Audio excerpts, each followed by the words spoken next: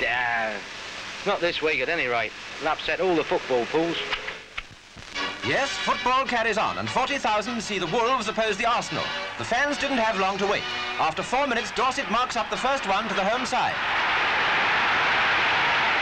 Excitement soon follows. Maguire for the Wolves, black shorts, beats Joy to centre. A goal seems inevitable, but somehow the young Arsenal keeper, Marks, bars the way.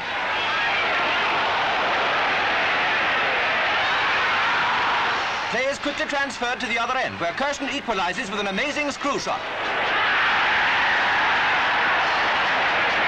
Soccer is certainly here, and with Lord Halifax, this sporting crowd hopes that reason may prevail, so that many such a game may be seen this season.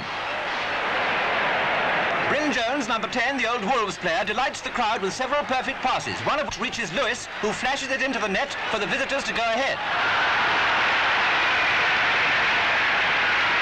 The home team comes again, and Westcott dribbles past the Gunners' defence to make it two all and share the points of a game which we trust is an excellent example of the season's fare.